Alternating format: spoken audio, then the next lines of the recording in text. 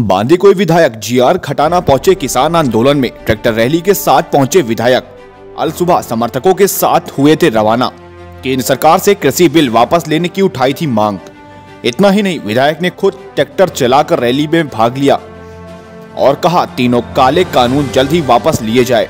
इसमें विधायक के साथ रतन सिंह पटेल, रविंद्र बैरवा, विनेश कुमार वर्मा, हिमांशु बैरवा, अशोक कुंडारा, हेमंत जोनवाल एवं दर्जनों कार्यकर्ता मौजूद रहे।